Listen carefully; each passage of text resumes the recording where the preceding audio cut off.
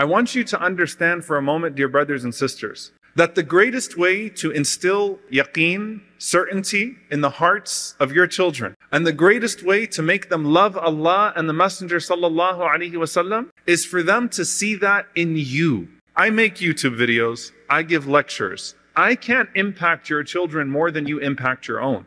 None of the speakers can. The resilience that you live and the beautiful example that you manifest is what's going to keep your kids upon Islam and keep your kids saying that this is the most beautiful thing that has ever been given to us. I'm going to talk about something very personal. My parents were Palestinian refugees.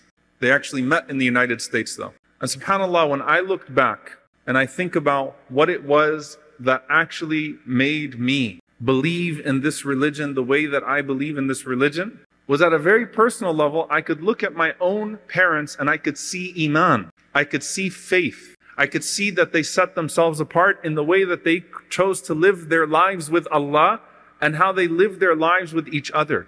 I could see that Islam had colored their worship, their service, and their relationship. I could see that there was a commitment to us as children that was far greater than what I had seen around me. And I knew at every single moment that we did this for Allah, that they did this for Allah.